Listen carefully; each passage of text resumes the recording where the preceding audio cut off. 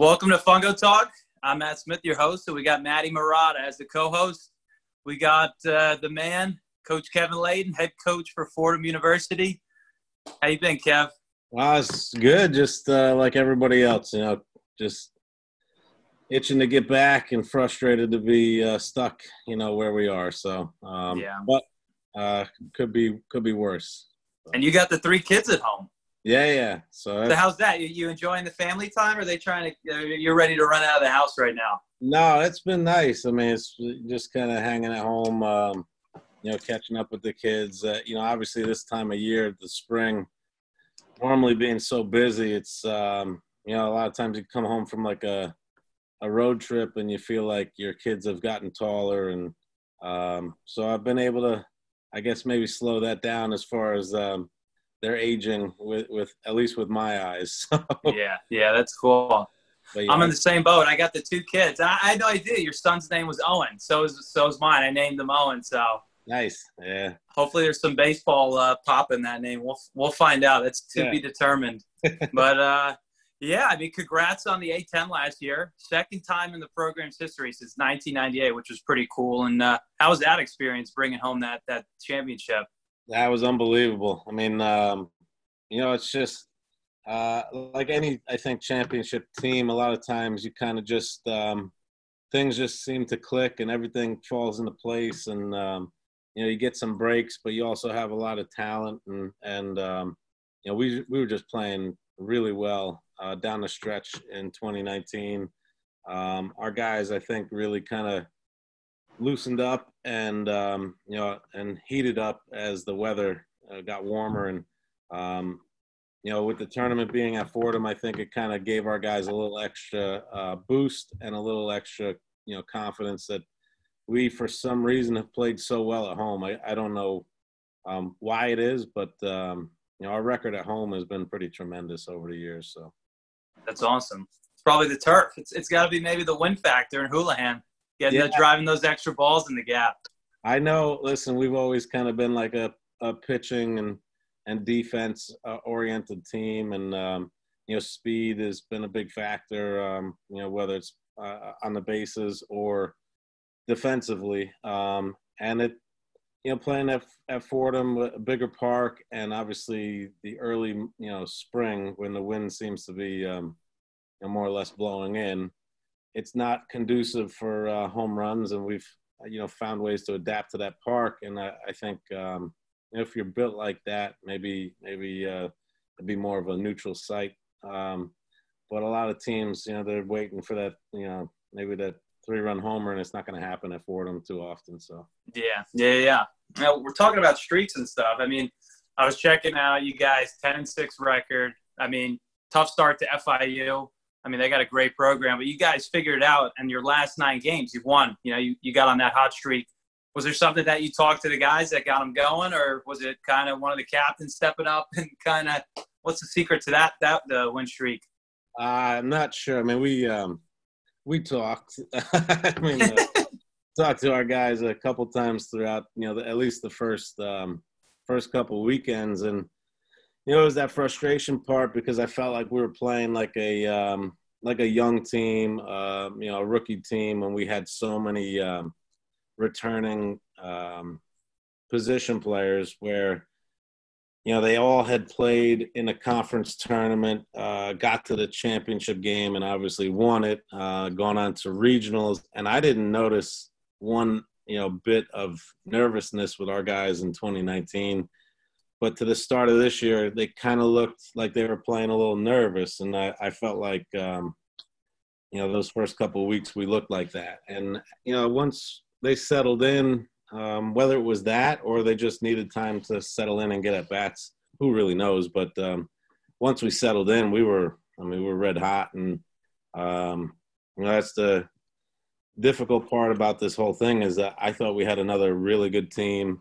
Uh, that Yeah. could challenge again for um, you know a, a, a pretty good record in our conference and potentially you know you never know what happens in the tournament but uh, i thought we had a, a you know solid team this year so Yeah. No, it's so fortunate. I mean, I got the master uh, right next to us with Marotta with the pregame speech. So, Manny, I want to know, like, what's your message to guys? Like, you know, you, you guys stumble out the gate. What's something that you like to say to the team? I think I think Kev's right. I mean, you know, if you're playing tight, and a lot of times it happens a lot with you know Northeast teams where you know they might be limited depending on weather in the gym, and you go down and you play you know an FIU. So you know that's kind of par for the course as a Northeast team, but to rattle off nine wins, I mean, that's, you know, you're hotter than anybody at that point. So, you know, I think the message, like Kev said, has got to be more, hey, listen, you know, we were playing scared a little bit. This isn't Fordham baseball. You know, conference champions the year before. You know, obviously Kev's won a lot of Manhattan, and you see why right there. Um, you know, a- after a loss like that, to kind of rattle those off, I think, you know, you see what type of coach Kev is, obviously. Yeah, yeah. No, I was thinking. I, I, thought maybe Kev did pulled a little uh, major league and put all the bat, made the bat grave, and you know maybe set a bonfire and got got some new got some new lumber in there. So no, I think the best thing as a coach, you could just say, uh, you know, guys, we got to pick it up, and uh, you know the players respond. You know, the guys played really well, and um, uh, I'd be crazy to take any credit for for what we did there in that sense. So. Um, yeah. You know, I just thought it was um, the guys need a little bit of time. We're playing good competition, and um, you know, once we figured it out, once they got rolling, it was um, we looked like we were pretty tough to stop. So. Yeah, that's what I love about you, Kev. I mean, you just got this awesome personality. You played it. You understand how difficult this is, and you, you're not like a guy that's gonna choke somebody or like rip somebody's helmet off and go nuts. It's kind of like, you know, hey, we just got to figure it out. You know, that's it's baseball, right? There's no secret. You just got to kind of, like you said, make those adjustments and, and figure out just the way to win. And I, I, I couldn't agree more with like that chemistry part. Sometimes in the beginning it takes time, and it, it's almost a good thing to kind of get beat up early because you get to figure out what that identity is and the, the character of your players. So that's kind of cool to see. You get beat up, and then as a coaching staff, maybe you're like, hey, let's sit back and see what these guys do behind the scenes. Maybe, you know, that's where you see leaders kind of evolve from stuff like that. Yeah, and I've I've learned over the years. I mean, I think every coach has. You know, you have to um, adjust and and um, evolve as a coach. Um, but I, I, I remember playing years ago, and um, one of the guys that uh, coached me, and he always talked about like you know if the coach is um, up and down like a roller coaster. It's it's like you know you can't play for a guy like that. And I've you know trust me, I'll, I'll be the first to admit that I'll, I'll have my um, ups and downs, uh, and you know kind of just lose it on certain days. But um, you know I've had to remind myself like the best thing to be is calm and and um, try to re- reassure guys, but also you know every once in a while you need a little kick in the butt and um, a wake up call or you know remind people that this is unacceptable and um, but um, that's the that's the give and take the back and forth i think with um, with coaching is um,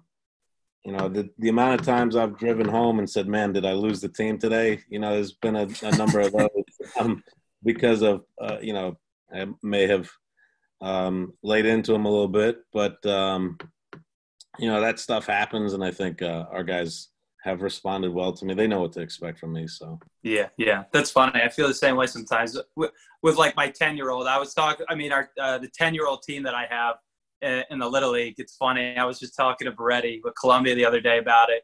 You know, we lost in the districts to like you know one of the the other teams, and you dig into your guys, and then you're like, Jesus, they're only ten years old. You know, like you don't want to lose these guys. You want to make sure, but. Uh, again, it's sometimes it's good that tough love that they know you care, right? Because maybe if you don't show a little bit of fire, it's kind of like, well, you know, coach is just kind of, you know, yeah. And the, the word that we talked about with Coach Boretti was passion, right? Like sometimes those players want to see a little bit of that spark.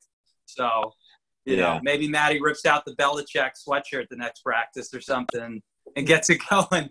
But uh, before we get to these the kids' questions, I, I did have one question of my own um, not sure how many people know this, but Vince Scully, the, the future Hall of Famer and former announcer for the Dodgers, played outfield for Fordham. Um, how cool is it to meet him? And do you have any cool Vince Scully moments, or did he have any stories that you, that you know stick out to you? Um, I mean, that was incredible. So 2015, um, we were going out to play USC and uh, reached out to um, uh, one of the people at Fordham, uh, you know, to see if he could put me in touch with uh, Vin Scully, and and you know, was able to. I was one of my stories about this is like I was emailing Vince Scully, and I'm just saying as I'm emailing, awesome. yeah, how cool it is, but also like so frustrating because you know you want to hear his voice and you want to talk to him, but um, back in 2015, emailed, set it all up, and we went out and um, we had lunch, um, you know, team lunch before our game at USC, and kind of surprised our guys with, you know, Vin Scully was there to have lunch with the team. So um, that's awesome. Just, just sitting there listening to him, um, and I said it to him. I mean, it's true. You know, he could read the ingredients on, you know, uh, um, the. I think we were talking about like the sugar packet. You know, he, the um, the uh, like a sweet and low packet. He could read that, and you'd be. So he could turn anything wow. into gold. yeah, that, you know, more or less like, wow, this is so amazing. And um, but the cool thing was uh, just meeting him and talking to him. He was incredibly down to earth, the the nicest guy you'll ever meet. Um, you know, you would not, you know, with all his fame and and everything, like um, he didn't. Oh, yeah you know, some people maybe brush you off and kind of uh, push you aside, but it was more or less he made it feel like we were doing him a favor uh, by having lunch with him, and that was I thought the coolest part, um, seeing our guys interact with him. Um, but then last year when we won, um, reached out to him and he called the team, and he went on for a good seemed like ten minutes of uh, wow. stories and just um, you know to motivate our guys and um, so hearing his voice is tremendous. And i know, that's one thing i said to him man. i miss just flipping on mlb network um, since he's retired and falling asleep on the east coast to a dodger game you know on a tuesday night at 11 11.30 at night and hearing oh yeah um, yeah vin scully's voice so um, what i thought was pretty cool too was I, I looked him up he hit his only Fordham home run against Yale, and George George Bush Senior was on that Yale team, which was pretty cool. Yeah, he said. I that. mean, that's awesome. It's cool, uh, you know. We talk about him a lot when we're recruiting guys and and stuff, and um, a lot of guys still know his name, but it's not like he just went to Fordham. I mean, he played. He was an outfielder, you know. So that's the I think the really cool part about Vin with um, with us and and the history. So. Oh yeah, Plus, you also got two of my favorite actors. Well, one of my favorite actors, and then one of, uh, and I'll go into the other one. But you got Denzel, who yeah. went to Fordham, who played basketball there, and then you got my favorite, and probably Murata's favorite too. We love something. The movie Something About Mary. Matt Matt Dillon's dad's the golf coach there, right? Yes, yes. Um, he was actually on a call yesterday. So awesome guy. I mean, I haven't talked to him a ton, but um, that was when I first got to Fordham. I had heard that. I'm like, wow, that's really cool. So, oh, uh, that's awesome. Yeah. So, um, but Did yeah, you get on that, the golf course with him or what? No, I, I haven't. Um, but uh, I know he's got some pretty good connections with some of the, you know, good golf courses around. I just don't know if they'll let me on, you know, if they see me swing. So I'm like, yeah, that, yeah, they don't want you to outdrive anyone. Okay? I think that's it. They don't want you to mash the ball. No, uh, but um, Denzel is pretty cool. That's something we haven't reached out to him, but um, but awesome that he's he's another name that we mentioned to the guys. When we oh yeah, on. a lot of a lot of uh, royalty and Michael Kay and all that. But again, let's get to the let's get to the kids because I know I could go on for for hours with this. So we'll start yeah. it off. Who had the biggest impact on your baseball career, and, and what made you successful in your baseball career? Uh, that's tough. I mean, um, definitely my dad. I would say my dad definitely had the biggest impact, and um, honestly, I think the the best part about it was he was not um, uh, one of these overreaching uh, parents. I guess is maybe the best way to put it. He, you know, he let. Um, I have a twin brother, so he let us go through the process throughout little league and and high school um, everything was a lot different back then, but um, you know, he didn't coach us in the sense of um, uh, coaching. Trying to go pro. yeah, well, definitely not. But um, he didn't he didn't overstep the bound boundary of um, you know with the parent and coach, uh, and I felt like that was good for you know me and also my twin brother in the sense of um, you know you couldn't go home and try to um, coach uh, also your dad. You know it was um, he we more or less had to earn our own way through. I thought um, compared to sometimes what you see today, but um, you know he I think in general with sports, I mean, he kind of introduced us to everything and and pushed us, um, you know, and motivated us, you know, more or less in like that tough love sort of way, you know, which used to happen compared to um, sometimes what you see now. But um, yeah, yeah. But I, and I would also say my brother. I mean, my I have a twin brother, so I always had somebody to play catch with or go to the field with and hit with, and that, that was awesome growing up having that, you know. So yeah, compared to maybe being like an only child, and um, you know, so I had a different, I guess, uh, upbringing having a twin brother. So, but um, definitely my dad. And then as you get older, there's more influences and go through the stages. Definitely, you know, Coach Sheppard at Seton Hall. Um, yeah. My high school coach Ron Dolan. So it's hard to put it just to one. Um, yeah. But I would say my dad, and then Coach Dolan from high school, and then Coach Sheppard uh, in college. So, were you a big weight guy, or did you just kind of like to get uh, outside uh, and do multiple things? Or no, in high school, um, uh, one of the health and phys ed teachers, um, Coach Walsh, when I was like a sophomore, I think he was trying to get my brother and I to play football because he was a football coach. Um, we was trying to get us in the weight room. So I started getting in the weight room when I was, you know, 15 and definitely felt like that helped. Um, you know, and, and, I, I enjoyed working out throughout college and, and lifting and, and stuff like that and the competitiveness, but, um, but yeah, not, nothing crazy, but. Yeah. For people that don't know this, Kev's probably got the, the, the biggest calves I've ever seen on anyone. It's like a horse. So I could be God given. Could be God given. I always say like, uh, I mean, I don't know what we did as kids, but I, I know we would we skied.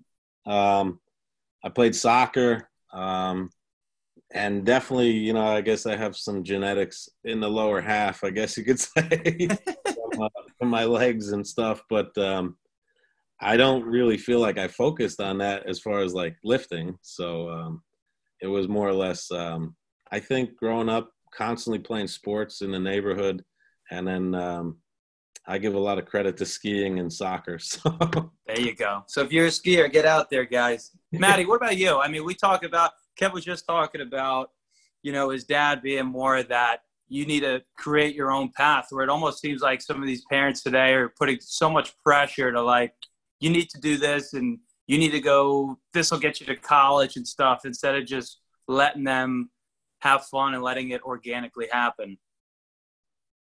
Yeah, I mean, like I, agree with Kev. I think for me, I had so many great coaches, so many great mentors. You know, guys who played in the big leagues. You know, I was very fortunate to have a lot of those coaches. But for me, it was it was my dad. You know, that everyday constant of, hey, you want to hit at 6 a.m. You want to throw. You know, let's hit until dinner. I think, you know, no matter what, no matter you know what people I had in my life, you know, that was the constant for me where you know, listen, he would be hard on me. We were brought up probably a little bit differently, like Kev said, than this generation. But, um, you know, the biggest thing about him was, you know, there wasn't really a high or there wasn't really a low. It was just kind of about the process. And, you know, I give him a lot of credit because he'd be, you know, working as a detective in the city, come home and be like, Dad, let's go hit.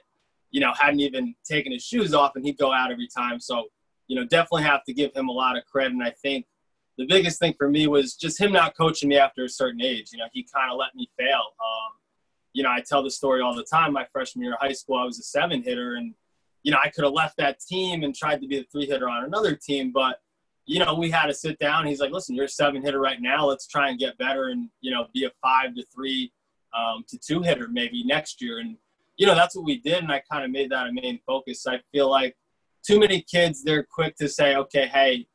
I'm not where I want to be, and, and it's easy to kind of play the, the blame game. And it's something I tell my college guys all the time. Um, you know, boys have excuses, men have answers. You know, what that really means is ask yourself, you know, am I making an excuse or is this, you know, warranted? So, um, you know, I agree with Kev. I think that good mix of, you know, my father obviously being there um, on an everyday constant, and having good coaches um, and good mentors around me. Yeah, that's awesome. I think there's one quote that like my dad would say that kind of stuck out. He always told me, he's like, listen, he's like, don't be upset if you didn't work for it. You know, you see so many kids, they strike out, they, they don't do well, and they get upset. And it's like, well, did you really prepare for it? Like, you can't really be mad if you lost or you didn't do well if you didn't really put the work in. So that's something that always stuck out, you know. And it's like anything like, oh, I didn't get the job or I didn't do this. But it's like, did you really work hard to deserve it, right? I don't think people understand that there's a long term path to really get to where you want. So um, that was pretty good. Now let's get to the next one. All right, Kev, what do you look for when you recruit your Fordham Ram guys? And is it important for, for kids to attend your college camp or just in general to attend these camps to get that extra exposure in front of the whole coaching staff? Yeah. So um, the first part of that, I mean, it's a, it's like a you know overall picture of a guy. You know, that's kind of what we're looking for is um, everything. And again, you know, maybe we'll go back to the parents here a little bit, but there are games that we'll go to, whether it's a high school game or summer league game, and you know, we'll kind of be in the stands, sometimes not wearing anything for them, or, sometimes wearing for them, and um, you know, you'll hear comments, and those are immediate like stay away comments sometimes, whether it's getting on an umpire or getting on a coach, um, you know, or you're just a little bit um, crazy in the stands as a parent. So that, listen, um, there's so many things that go into it more than just whether or not a kid can hit or run or throw. Um, so at Fordham, I mean, obviously the academic um, piece is big. I mean, we we um, you know we need to get guys that uh, take their academics seriously. Um, but obviously the intangibles that everybody else looks for. I mean, you know, we're looking for guys that can run, athletic. Uh, I want guys that play multiple sports. Um, I don't want a guy that just plays baseball. Uh, if I had my pick, you know, I, I, I, love getting. I mean, we have a lot of guys that play football um, and baseball, obviously, and it's awesome because I, we look at it as, you know, this guy knows how to compete. This guy knows how to um, go after what he wants. He's uh, athletic. Um, he can handle uh, a full schedule of class and uh, football and baseball. I mean, we have a guy coming in that plays. Um, he's a he's a quarterback, um, plays hockey and baseball. He's a you know pitcher, shortstop, um, um, and baseball. So you're talking about year round. This guy is playing a sport. You know, committed and doing all those things that is, is required to be the best that he can be on, on all levels there, um, while also maintaining a high GPA. And, and that's where I feel like it only gets easier for him when he gets to college, and now he's going to more or less have to focus on just baseball. So um, I couldn't agree more. And Coach Brady said the same thing. He loves guys that played multiple sports. Um, and it just again, like you play football, it's a it's a different animal, and it's like a tougher so again, that it goes back to you know it's it's like a Swiss Army knife, right? Sometimes you do one thing and it's kind of like, well, this guy's done other things, and, and you could see different intangibles, you know. So yeah. I know I was a big sports guy. You know, I know Maddie was too. And listen, Maddie was a two-way college guy. I mean, he he, he hopped on the course and was shooting uh, Tiger Woods numbers. So again, as a coach, you love you love to see that kind of stuff. So again, I like to hear it. And also, when and Maddie's around the little league as well.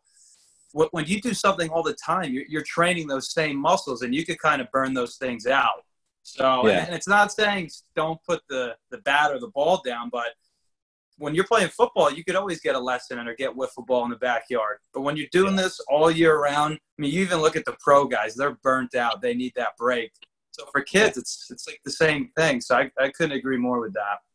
Yeah, I think it keeps them fresh, and and you know, there's so many positives to doing all the different sports, uh, like we said. But um, you know, on the other part of it, when you talk about camp, I mean, is it a necessity? No. Um, I think for our camps, a lot of times it's more or less like a maybe we didn't know of a guy previous to him coming to our camp, and a and a guy, you know, jumps out at us at camp. So now this is going to be a guy that we try to um, go after down the road or make sure we stay in contact with.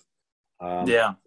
Or sometimes it's a guy that, um, you know, maybe I saw him or um, you know, maybe one of my assistants saw him, but I haven't. And it's a way for a, a guy to get on campus, you know, work out. Um, we can kind of gauge whether or not, you know, how coachable he is when we make, you know, we'll do like some small skill work sessions and we'd maybe suggest um, a small change or, you know, try it this way and see how they react. Um, but I think it's great for kids as far as like when you talk about prospect camp type of stuff. Uh, it's just another opportunity to be in front of us. I, have always said this when we talk to the kids at our camp. You know, when they come to our camp, we know that they have some interest level in coming to Fordham. So that's part of the battle sometimes on our end as coaches is gauging, you know, the le- legitimate interest that the kid has in our program. Um, so, um, you know, if they come. No, and I'm gonna I'm gonna stop you there because I remember in 2015 when I was there when when we had the camp, we actually I think we picked up a guy and offered somebody. So again, too, I think kids that because you see kids get signed so early, eighth grade now, which is you know in my eyes I think it's a little crazy, but you know it's starting to get younger. Some of these guys develop later, right? I mean, you look at Jordan, right? He got cut, he grew five inches. I mean, you just don't know what's going to happen. So I think the camps are yeah. great because you could go one year you could develop and you go again and the coach is like hey i remember you you shook my hand you shook the whole staff and you came back and you proved to me what you could do and sometimes that that stuff goes a long way. Not like you said there's no guarantees but you know i think uh, i think it's a good thing. I mean when when i think of our roster i mean the majority of our guys attended our, one of our camps at some point whether it was the first time we saw them or it was um, they just came uh, after they could committed just to kind of maybe we, we did a little um, hitting camp and um, you know for us it's awesome because we got an opportunity to kind of see them up close and again work with them um, whether they were committed or not um, you know at that point so yeah maddie did you go to kev's camp in high school Uh, I don't know if I went to Kev's camp, but I definitely visited Manhattan. Um, and I think it was the year they had beat Joba Chamberlain the year before in the regional when he was at Nebraska. So I remember when I was staying with the players, oh, you know, nice. they were kind of telling me that story. It was pretty cool. Yeah, we That's didn't. awesome. We didn't run many camps at Manhattan. Um, I mean, I was I got the job, you know, rather young, and I was just so focused on um, just being able to run a program day in day out. So we didn't have many camps. I can tell you that. Um, and you know, a lot lots changed over the years. So yeah, the Jaspers baby. Shout out to my little brother who went to uh, Manhattan College. Took a lot yeah. of trips up there. I actually liked it. Yep. All right. I'll probably get yelled at for saying that, but okay, because he, he's he's a man of uh, less words. He likes to stay incognito. But love you, little brother. Okay, what does a day of practice look like for your catchers? I know you're, you know, you were a catcher, so you know, I want to see, uh, you know, I think the people want to hear kind of what uh, these guys go through. Uh, it depends on the year for me, in my opinion, uh, and it sometimes gets even, you know, slightly individualized per guy. But um, I'll tell you, in the fall, I, I try to spend as much time with them as possible. In the spring, it gets a little harder because uh, we're playing games and I'm you know, the head coach. So um, it's a little tricky there. But uh, in the fall, I mean, we'll do a lot of drill work. I've I've geared and shifted over the last couple years here, uh, partly from Coach Detoma, who was with me at um, oh yeah at Fordham and now at, at FDU. Um, and I watched him with our infielders, and one of the things he did um, with our infielders was he had he called them dailies. So every day they had to do certain lead up uh, type of uh, drill work, and I loved it because they were getting that reinforcement constant. Um, so started to implement that with the catchers where we we would do dailies. We would more or less pick from a list, um, and I heard it described this year. I think. Um, um, I, I can't remember where it was, either a convention or, or podcast or something, more or less like a menu. Um, So I came up with like a menu for receiving drills, a menu for blocking, a menu for um, throwing. So um, something in that where we can say to our guys, okay, we're going to pick three from here, three from here, and three from here, and it gives them a little bit of um, they they make those choices where they can have a little bit more say in what happens. Um, but uh, I am, I think, harder on our catchers than anybody else at our program. Um, when we had the kid uh, Justin Bardwell a couple years, I mean, he graduated last year, 2019. Mm-hmm. Uh, you know, and he did a lot of the catching day in and day out. Um, and I write the lineup, so you know that was um, my doing, I guess. So, but I I knew if I took him in the spring and we do blocking drills and we we spend 40 minutes on um, being in the crouch and all this stuff, um, I think it would wear him down. So in the spring, I pretty much left him alone. Um, we would do a lot of times. My focus in the fall is um, receiving blocking. Um, my focus in the spring is going to be footwork and throwing.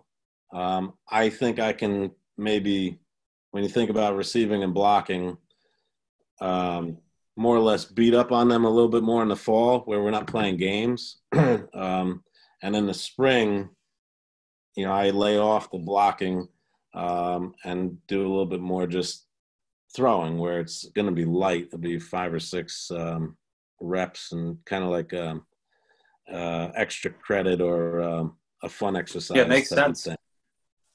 Um, but yeah, it's hard. You know, based on the day, it depends. Um, but that's what I've kind of shifted to. We've gone like we'll do like individual workouts with our guys. Uh, well, I'll get the catchers and we'll go for 40, 40 to 45 minutes, let's say, and kind of break it down into mostly receiving blocking in the in the fall. And, you know, keeping in mind that they are catching the pitchers a lot. So they yeah. get work in there. Some of the best stuff I've ever done is, um, you know, when I was in college, I, I was I got hurt one year and I couldn't play, so uh, Shep told me to umpire, and I'm putting, you know, inner squatting, and I'm back there with, um, you know, uh, catcher's gear on, and I'm umping, and I real that's when I realized, like, number one, this this is not easy because I'm getting yeah. fooled left umping, and number two, like, the view you have back there, it's important. So I've always done that with our catchers since I've started coaching. Is like I want you behind him. I want you to umpire and just not in a not an inner squad setting, but um, when we're working the machine, the breaking ball machine, um, you know, I, I, if I got three catchers, I'll have one guy standing as a hitter, one guy is catching, and one guy is umping, just so they get that view of what it's like to be an umpire. And, you know, I'm going to stop you there because I think I actually think that's genius almost because as a catcher, if you're watching from an umpire's point of view, you can almost learn stuff like, oh wow, like by setting up like this or right, you could kind of learn like I'm not getting that call because maybe this is not what I'm doing. But it's you know guys are getting lower and lower, and it's kind of they're getting that extra inch. So I guess yep. it's like when you, when you're standing back there, you could almost put yourself like, hey, if maybe I could, if he could set, you know, I think the feedback's great. You know, you set up here, you might be able to get this for a strike instead of kind of setting up that way. Yeah, no doubt. So, That's what we've, um, you know, I, I've always been a proponent of being on one knee or dropping a knee as you receive. Uh, it's crazy to see some of this, not crazy, but a lot of the stuff that they're talking about now with catching is things that we've kind of um, thought about in my head. If you watch, I mean, that, that game, that YouTube game of um, Nebraska with, with Nick Derba catching, who's now the head coach at Maine tremendous catcher. I mean, I didn't have to do much with him, but um, he was incredibly athletic. But if you watch him catch in that game, it's on YouTube. If you YouTube the Manhattan uh, Nebraska game, I have to check that out. You'll see. I mean, he drops a knee often, and this is you know you're talking uh, you know 14 years ago, um, and because I I believed in it, that's what we talked about. Um, a lot of guys would tell you know tell catchers like that extra movement. Um, and I always felt like it's the best way to catch the low pitch. So it's pretty um, it's pretty neat that you're seeing guys go to a knee, uh, and I've even evolved with that. Um, and I'm debating even next year, just seeing maybe in the inner squad in the fall with our catchers. Um, all right, let's screw it, you know, because I'm not really a um, proponent of being on a knee all the time, but yeah, I haven't done I haven't done it with our guys, and you're seeing big leaguers catch on a knee with a, yeah. runner on first. Look at Sir, you look at Cervelli, you think he's tearing something. He's getting so flexible down there and stuff. So, Maddie, what do you think as a pitcher? Do you like it when like I mean, and I, what am I trying to look for here? I mean, if the catcher can get you those strikes that are balls, I mean, how big is that? And is that something that you talk to your guys about? Oh yeah, I mean, uh, you know, our catchers will tell you I'm his best friend for probably the first, you know, three weeks. I'm trying to get him to understand, you know, where he wants to set up. If he catches a fastball away, in middle of his body, you know, we might get that call more times than not if he's, you know, reaching across. So, you know, I think the biggest thing for catching, like Kev was saying, with even just the umpiring, is you know be able to catch different pitchers in the bullpen. Um, you know, I know Coach Brady talked about a lot. It's it's a tough balance because you know catchers get beat up. So obviously the way Kev does it is a little bit more intense in the fall, and then once they're playing their games, you know, it might be a different focus like footwork and throwing. Um, you know, so the same is true. You, you don't want to beat them up. You know, it doesn't have to be anything crazy, but you know, definitely I force them to catch a lot of different pitchers, um, especially if they're the starting starting catcher. I mean, just so many different looks. And I mean, Kev's done it. You know, if you get a guy who's 91, 93, and then the next inning you get a sub guy who throws a frisbee, you know, if you haven't seen that frisbee type breaking ball, you know, then a pass ball could happen in a big spot. So I think it's, you know, it's it's the hardest position in the world because you have to be constantly locked in. Um, but for sure, I mean, stealing pitches is everything, especially if you know a pitch kind of works late. You know, hey, maybe I'm a foot further back where now I could steal a strike. Um, you know, there's just so much to it. Yeah, no doubt. All right, let's get to the next question. Actually, I want to shout out two catchers, Kevin. I'm sure you remember these names: Chuck, Chuck Galliano, and Patty Gardner. Yeah, those yeah. are the guys. Those are the guys that I was there. Man, did they they get after it? And I think yeah. a big part too is is competing makes them better. I mean, those guys, you know, they would they would make each other better because they were trying to compete with each other, and I love seeing that. So that was you know, shout out to those guys. They were awesome. Yeah, I love those guys. I mean, Chuck uh, Charlie was, um, God, I think probably my first commit. Uh, oh yeah, he was drafted too, right? Yeah, because he probably he committed to me at Manhattan, and then I, I remember telling him like, listen, you know, that's awesome. He said yes, but I, I you know, within a couple days here, I may have news for you. So. but yeah, Charlie um, and Charlie's fall, his first fall, he I was all over him, uh, and I'm sure he would tell you that. But Patty, I, I love Pat. I felt like he, um, you know, improved every year that he was with us, and um, you know, his senior year, he had more or less like a a breakout and really um, contributed a lot more than than uh, what maybe we we thought, and um, you know, happy for him. But you know, when you see guys kind of um, progress as they go and and finish Yeah. up on a high note, so Yeah, no doubt. Now he's the Wolf of Wall Street. He took that confidence to the uh, to the stock market or wherever he is in the finance world. yep. All right, this is my cup of tea. I, I like this. What drills do you like to use for hitting? And before before I'll let you answer, because I used this today. I mean, I love hitting the soccer balls and the heavy bag, Yeah. and I tell my kids that too all the time. I, I got them hit, hitting the heavy stuff and getting the wrist, and I know you're a big get those forearms strong and stuff. So Yeah. I'll let you take it. Um, it, the hitting stuff. I listen. I, I think drills are good. Um, you know, I, I think some like I think of hitting the soccer balls not so much as a drill, more as like a as an exercise, uh, Yeah. a conditioning type thing, and um, you know, you feel it when you don't hit the ball right because it kind of whacks your wrist a little bit. Um, Oh yeah. but I, you know, I think each guy needs to kind of have like a tailored routine of, um, you know, what gets them maybe back on track. I mean, we introduce a lot of different things with our guys, whether it's like a step back or, excuse me, a rhythm drill or whatnot. Um, but ultimately, everything for me is ground up. Um, you know, do you have a uh, solid athletic base when your foot hits the ground, whatever you want to call it, when you take your stride. Um, Mhm. you know, are you in a good athletic position? Because if you're in a good athletic position, I feel like a lot of things can happen from there. Um, and I've I've talked a lot about hitting uh, more or less like a punch. Um, you know, when you not that I would um, uh, condone it, but if you're gonna if you're gonna land and punch somebody, if you really gotta um, get into them, um, you know, not just uh, give them one little jab. If if you really had to, you know, put it to them on one punch, um, I bet you you would step into it. You would stride. You'd load into your backside, and when you landed on your um, on your front side, you would start to feel that momentum shift going towards the front side, and then as you deliver the punch, everything more or less like at contact, your front side is going to stiffen out, and um, and, and, you know, boom, you're going to hit. So um, I think there's key components that I look for. Um, some of the drill work that we do is kind of tailored to it. Um, you know, I, I I always start with the base and then maybe work work our way up. Maybe um, you know, is their elbow above their hands? You know, the back elbow is something I I look for. Um, I'm not saying you can't be successful hitting that way because there are guys that do it, but um, yeah, I I like it with our our back elbow is slightly below our hands. Um, but even throwing a frisbee, I mean, it's crazy. Sounds crazy, but um, um, we'll have our guys. I haven't done it with them, but I tell them to think about throwing a frisbee or skipping a rock. It's a similar position.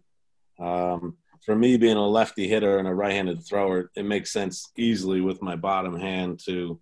If I'm going to throw that frisbee, that's more or less the same type of movement with my swing, uh, with the elbow. So. And they talked about that at the network too. Big Sean Casey likes that that yeah. frisbee rock because it's that same motion of you got to get through it, and you know that's that the feeling you have to have. Yeah. So, so. If I, you know, if I was um, maybe doing instructional stuff with little guys, or um, you know, if I had a lesson, maybe you know, it sounds crazy, but if you had a frisbee and you said, okay, we're going to warm up um, playing the frisbee toss, but even for a um, you know, if I was a righty righty, I'd want to throw it this way you know, if if that's the same movement with my top hand. So yeah, um, that's true because you got to stay through to throw it. You start getting you know yeah. too wristy, you're not going to be able to flick it nice. So what I like, yeah, we don't know. Kev's actually a frisbee legend. Probably, he probably throws it out of Houlihan Park. uh, but it's, I mean, I, I, it's so hard. I mean, we've gotten, we've gotten a lot of drills. Um, you know, done a lot of different things. Um, well, I like that you don't cookie cut it. You kind of let guys feel to where they need it, right? Because some yeah. guys want to work on one thing and then so. And again, I think we go back. Listen, we have, you know, typically a full year with our guys where we can um, evaluate and kind of feel them out. So the first few weeks of the fall, a lot of times it's it it may not be cookie cutter. It may be this is what we're doing. These today we're going to do these three drills and then we're going to hit for 10 minutes tomorrow we're going to do these three drills and then we're going to hit for 10 minutes um, yeah more or less to see how they react and um, if they like a certain drill. And a lot of times at, at, the end of the fall we'll tell them you know we'll have them uh, fill out some uh, whether it's an index card or a survey online like what are your go-to drills? Um, so that way we kind of we can kind of gear stuff towards them individually but also use our eyes and see what we think would work with them yeah. No i agree. I think Maddie and I have to come to uh, to Houlihan Park and we'll do a kids clinic. And I'm going to put that catcher's thing on him or the umpire's chest protector. I'm going to have you punch me yeah. right in the chest to talk about that staying tight.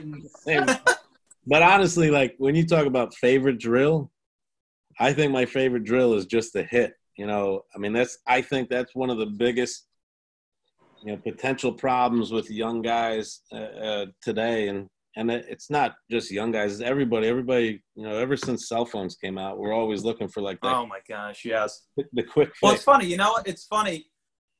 I don't know. I, I, i'm totally with you on that. Everyone's trying to reinvent the wheel and do this crazy drill. And, and maddie i'm going to say too it's all about just keep it simple. And maddie talks about this all the time with his pitchers right? I mean matt you say the same thing. Am i am i wrong no, I mean, I, I, think you could almost relate it to boxing, right? I, I could I could hit a, a, boxing bag as much as I want, but you know, once the bell goes on and I have to actually fight someone, you know, it's a little bit different, you know. So just like hitting, like there's nothing that can really supplement it. Um, you know, I like challenging my guys. I think, you know, with the younger guys, the high school guys, you know, trying to force them to get in their lower half is tough at times. So what I'll do if they're not in their lower half is, know, I'll do a bounce drill. I'll simulate breaking ball, change up, slider, and I'll make them kind of call it out. So, you know, for me, it does two things. It kind of forces them to see, okay, hey, I'm not in my lower half. I can't hit these pitches. So let's make an adjustment. And then the second is, you know, just forcing their body react, force them to see, you know, it might be 20 bounce sliders, but, you know, they're seeing the movement, they're seeing the spin. So, you know, I, I think the grill, the drills are great, but, you know, challenge the guys as much as possible. You know, you want them to be athletes too. Yeah. I just remember when I was playing, just taking BP, maybe if I took five rounds, I mean, even when I was younger, just pitching, this is such a game of feel where you're like hitting or you're throwing, you're like, oh wow, this clicks if I do this or if I do that. So I couldn't agree more with Kev. Where it's sometimes it's just so simple as just keep doing it, and you could kind of just feel things that click, you know. And it's probably the same for a pitcher. You're throwing a bullpen, and it's like, hey, do this with your fingers or, or do this a little bit more with your backside, and you're like, wow, like that actually helped instead of yeah. doing great, you know, these crazy drills. What do you think, ahead, Natty? I love what Kevin said. I mean, what you what he's really doing by putting out that menu is, you know, having them basically try these different drills that him and his staff have picked out. But you know, once they like four or five, that's their routine. You know, he's really helping them build their routine. You know, recommended drills. So, um, you know, I, I love that. I think that's great. I think every animal is different. Every animal, you know, likes to do different things, whether it be, you know, their first round of BP, their pre-pitch, um, you know, before they're in the box, maybe their flip stuff. So, you know, I think you got to kind of let them be unique and, you know, kind of tailor them towards things that obviously work, but, you know, help them kind of build that routine, um, you know, build that pre. Yeah. I think it goes back to this quote. I was watching the other guys, Mark Wahlberg. I'm a peacock. You got to let me fly, baby. I mean, that's that's what it comes down to. You got to let these guys kind of be an athlete and get out there. Yeah. And that brings us to the Moneyball question, Kev. It's no stumpers here, but Maddie's got two questions, so I'm gonna let him let him take it take it away. All right, Kev. I got one serious question uh, and one non-serious. I'll start with the non-serious. Uh, favorite movie for the bus, or the, the movie that nice. the guys go to a lot. Oh God, I mean, I'm I am awful with movies. I'm terrible with quotes. And Maddie will tell you this. I mean, we'll be in the office, and um, you know, one of I, either I'll say something or one of my assistants will say something, and I'm like, "What are you talking about?" these three assistants are looking at each other like, "Yeah, he just doesn't know," and I'm like, and then they'll say the movie that came from. I'm like, "Yeah, I saw that movie, but I can't. I don't I'm dying because me, Robbie, and Jimmy would, would say these quotes. And Kevin, what are you guys talking about? We're like, come on, man, you don't know this? So, uh, and that's another thing I'll tell you that I, I miss about, um, you know, not so much when I played because the uh, the TVs were like four inches, but um, you know, 10, 15 years ago, when you get on the bus and you would have, you know, three or four movies. I mean, we've put on some movies. Um, on the bus and I'll I'll look to the back and there's nobody watching the movie except for me. And then know, it's just six screens or whatever, eight screens. They're now enormous. They're beautiful screens on the buses now. They're awesome, but um, nobody watches the movie. We don't even bring movies because they all have their, their laptops or iPads. Yeah. Oh yeah. They're all watching their own movies, so it's kind of like that stuff has gone away. But I'll tell you, I I love the movie Slapshot is tremendous. Yes. oh, yeah. I'll, I'll, go with Slapshot. I wish they didn't have so much of the uh, romance, the the romance part of it. I wish it was a little bit more. Paul Paul Newman, right? Yeah, but I just love when they're skating and their jock straps once they win it stuff. Again, this might not be PG for the kids. Yeah. I just remember watching this with my dad and his brothers, and I'm like 10 years old laughing my you know what. So that that's great old school, old school hockey. Uh, so that, that I guess that would be my pick if. Uh, but honestly, Maddie, that's probably because I can't think of too many movies off the top of my head. I'm just not a movie. All right, so I'm going to replace that question really quick for Maddie on the gum. Then, what's the favorite? Well, you, you probably got a favorite restaurant, but how about that dinosaur rib place we went to? Um, were you talking uh, down in uh, were we in Texas or where the hell were we? No, we, this was in, in the city. Oh, When I was there, remember we took the, we took the bus we took the vans to this place and just ate like kings. yeah, Dinosaur Barbecue was that's where we went. I think. Um, That's where me, you, and Maddie are going. We're gonna go to we're gonna Chris and Maddie with that. I love. I mean, barbecue is tremendous. I love um, definitely ribs and and um, um, what am I blanking on? Um, I Pulled can't- pork, pulled pork. the Um, briskets. Oh yeah. sorry, brisket. Oh yeah. Brisket's what I'm uh, definitely missing most through the quarantines. Oh yeah. but Too funny. All right, Kev. Um, you kind of mentioned this before. I think this is great to kind of get out there. Um, you know, parents in the recruiting process. I know these people think that they're behind the scenes, but you know, can you kind of explain a little bit how you guys see a lot more than parents uh, think you see? You know, you could see them in the stands, and you know how college baseball is very different from travel when it comes to playing time. You know, everything's earned. So, you know, kind of just give us an example of, or not an example, but um, you know how how important you know are the parents in this recruiting process um, you know and can it affect the kid Yeah, definitely. I mean, my example before, for sure, you can affect um, affect things in a negative way. I mean, nobody, you know, as a coach, all of us um, understand the whole process and know that there is parent involvement. Like, it, you know, we we understand that you you need to have a, you know, more or less uh, a part of the pie as far as the decision making goes, but. Um, you know definitely i think parents rarely can you affect your child in like a positive way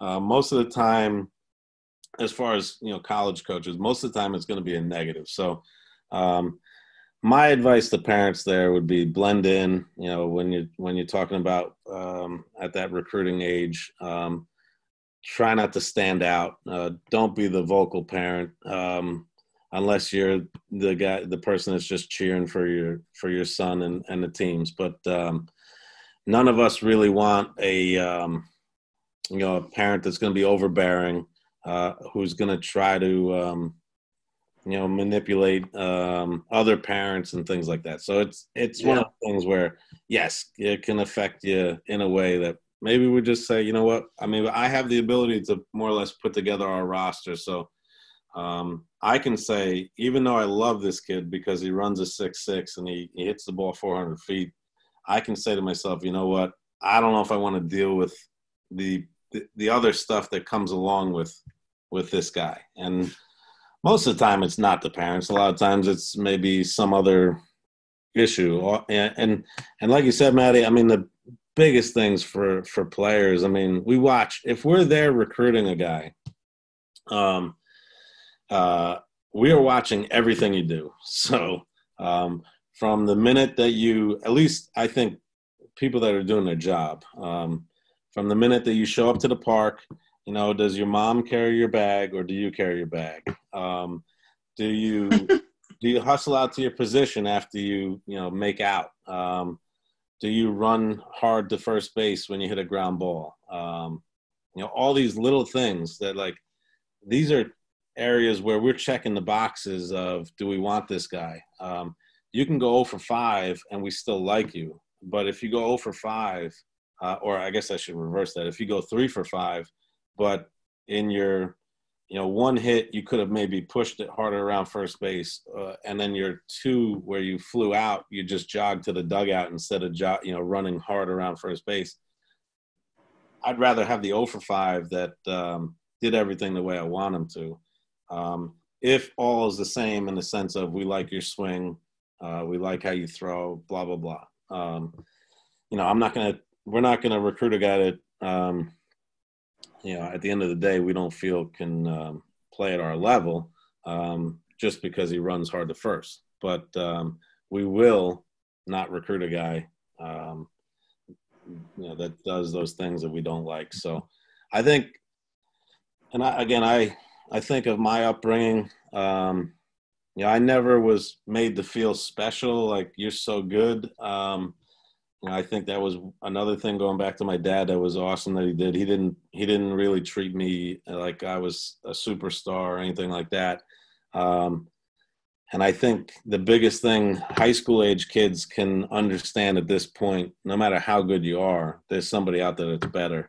Um, and there are so many options for us to um, recruit you know, go after other guys. There's so many kids out there that why should we recruit you know player X? Um, and only player X has that answer. Um, so you gotta, you know, I think that was, that would be my advice to guys. I could not agree more with that, Kev. I think you hit it right on the head. You guys have every option, and there's so many choices. So why, why would I bend the rules just for someone like that? And it's funny. I'm sure Maddie could say the same thing because I've been around the showcase circuit and seen. It almost seems like the bad stuff almost sticks out more than the good stuff because yeah. so many you see guys hitting and stuff and you you notice that one thing when that kid shows up a teammate or he throws his helmet, and you're just like, you know, that's a damn shame because this kid was looking pretty good until he pulled something like that. Yeah, and and you know how it is, Maddie. I mean, we'll you know when you sit at these um, events or showcases or tournaments, I mean, we'll see. I don't know, a thousand kids in a weekend. I mean, so. Oh yeah. If you're at one of those big, um, you know, showcase events, where you're talking about 250 kids in a two day setting and um, you do that for a few days you just um, you know you got to find a way as if you're that player you got to find a way to um, stand out and yeah um, not in a negative way so um, yeah that's um, i think a big part of it and you know like i said uh, for for mom and dad and, and whatnot I, I, it is a hard thing um, but you have to trust that everything is going to work out the way it should. Um, that's one of my things I try to tell people also is like, you know, um, you got to read through some of the, um, you know, some of the stuff that's uh, a little bit fluff, but um, at the end of the day, you know, everything sorts itself out, and and guys end up where they should typically um, through the recruiting process. So if you're not getting like legit interest from you know, certain schools, maybe you know it's not so much that those schools are wrong. You know, maybe we got to look at other options. So um, yeah, no, hey, listen, that's why there's so many schools out there, so many programs. You know, you got sometimes you can't force it, right? You got to find the right fit, and you know, usually it happens. Sometimes it doesn't, but yeah. again, that's life, right? There's no guarantees. You just got to work hard and make sure you do your homework, and uh, things usually fall into place. So, I mean, but I agree with you with kids these days. I think, you know, they need to stop kind of hanging on to mom and dad and just kind of take ownership about things. And, you know, they can't expect them to do everything. Maddie, Matt will be the first one to say this. We played for a pretty tough coach in high school uh, with Leon Matthews. And, um, and if he's listening, he rode me very hard. And I, you know what? I had so much respect for the guy. There was times during practice I'd come home and, you know, I'd, I'd be like, man, I don't know if I could do this and stuff. And you know what? My parents could have like called them or done something. They never reached out to him. Never, never went against anything. And they just said, listen, if you want to quit, quit. But this is life. You, you know, you commit and you just keep working hard. And I just have so much respect for him. And I, and you know, after high school, he has so much respect for me. And to be honest, I can't thank him enough because I think that's a real taste of just the real world in general, where it, you know, these kids are going to get out of high school or college and it's not easy at all. And I think that's, you know, we need to do a job of society to raise these guys to be ready, you know, because when times are hard, they're going to, are they just going to fold up or are they going to, you know, man up? So I think, uh, you know, that's why I enjoy the development because I am it's tough love and these kids know that i'm there but i'm also going to push them a little bit beyond that comfort that comfort level. So. Yeah. no doubt. Maddie what do you think? Yeah i think you know everything you guys are saying is, is spot on. I think you know listen the parents they want to get involved. I understand that. You know help your kid pick your major be with them every step of the way but you know let the coaches recruit and like kev's saying you know if he doesn't have offers in the atlantic 10 then you know, maybe Fordham might not be for him. You got to be realistic. You know, there is a place for everybody, but you know, I think the biggest thing that kids don't understand is they might not get a ground ball, they might not get a play at the plate, but you know, in between innings, you can control hustling on the field. um, you know, you can control making crisp throws to first base. You know, like coaches can tell, you know, who's taking two minutes off. And I think the biggest thing that people don't realize is, you know, Kev does watch people, you know, show up to the field. And I think too many parents don't really realize that, that, you know, they want to see everything. They're going to spend, you know, four years together. So, you know, just as much as you got to be a talented baseball player and the grades have to be there, you got to be a good person too. So, um, you know, Kev, I thought that was awesome. Thank you so much. Yeah. Yeah. Listen, you heard it.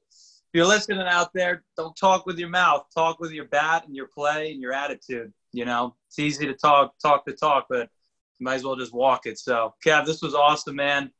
I appreciate it, and uh, I'm excited. I know I haven't come seen you. Shame on me, but that's what happens when you get kids, and I know. you know, that's that's the life. But Maddie and I are definitely gonna make the effort to come out to Houlihan Park. Maybe we'll take some BP. We'll hit some homers. No doubt. no doubt. So thanks a lot, Kev. We appreciate it. All right, guys. Great seeing you. Yeah, you See too. ya. Take care. See you.